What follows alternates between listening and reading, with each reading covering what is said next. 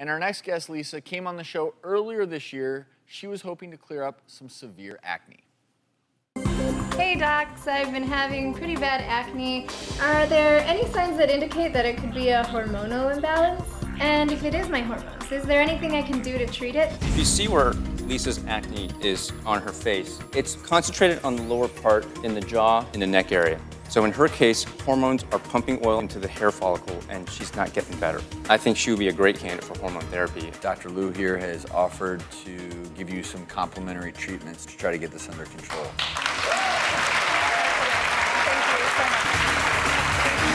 So Lisa, you've been on spironolactone for the last couple of months and we're already seeing some significant improvement. But because you've been dealing with this for such a long time and you've had some redness and scarring in your skin, we're going to do some laser therapy.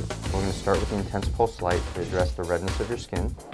Fires energy into the blood vessels and the inflamed tissue. It'll shrink the vessels and the uh, redness and swelling from the skin. She will see improvement even after one session. This is the fractional laser to address the uneven skin tone seen on Lisa's face. So what this laser does is it penetrates through the top surface of the skin. It'll break the scar tissue open and actually build new collagen to give her an improved skin tone. Great, that looks great. So that's it for today. I'll see you back in three to four weeks and we're gonna do the next session. All right, great. All right. And I'm here with dermatologist Dr. Howard Liu from Cedars Sinai Medical Center in Los Angeles. Welcome back to the show. Thank you, great to see you. And treating hormonal acne takes time. How long has Lisa been under your guidance now? So I've been seeing Lisa for the past three months and in three months she's really gotten better quickly. Do you all want to see how Lisa's doing? Yeah. So do I. I want to remind everyone what Lisa looked like before the treatment started. All right, let's see her. Lisa, come on out. wow. See you.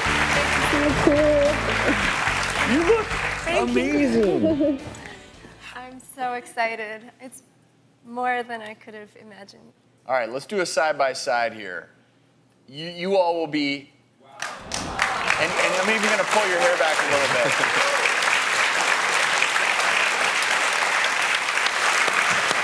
this is a show about before and afters, and part of the therapy here is taking care of the acute acne, number one, and then the laser therapy to treat the scarring that's occurred. What's amazing to me is you still have 20% to go. And I'm looking at you right now, and I would not have known you suffered from this. So this is just such a great success story. Thank you, Jason, for sharing with us. Stephanie, great job.